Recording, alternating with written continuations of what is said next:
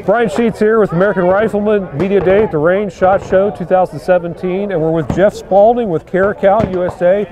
Jeff, we have here the elusive Caracal pistol. I know a lot of guys have been really interested in this gun. Uh, Jeff, I know that this gun has been really uh, look, looked after and sought after by guys when they, when they first saw the first ones out of the UAE. Uh, tell me what this latest model is called, where it's been produced, what it costs, and when you expect to get it out to the public. Oh, absolutely.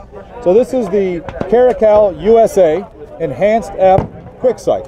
So this is this product is manufactured here in the United States. Okay. This is our pre-production run that you're looking at right here. Uh, this pistol is currently being tooled up for 100% sourced, manufactured, assembled, tested, and sold and shipped here in the United States. This is the Enhanced F version. Now, the, the, quick sight refers to this rear sight that's actually in front of the ejector port. Correct. What's the what's the point of that? Seems like you lose sight radius. You do have a diminished sight radius, but what it does is it puts the front and rear sight on the same focal plane. Okay. Which allows you for an immediate flash sight picture, Okay. rapid sight acquisition for follow-up shots. Okay.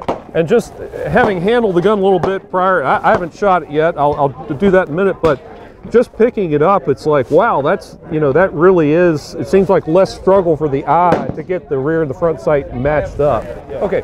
So, so Jeff, what's this, what's this gun to cost and where can people find out more information about it? Certainly, this right this pistol is going to be uh, for pre-sale in May with deliverables coming by the end of July. The MSRP on both the standard sight and quick sight version is going to be $599. Okay. And for more information on that, they can log on to caracalusa.com. Okay, great. Thank you, Jeff. Absolutely, thank you.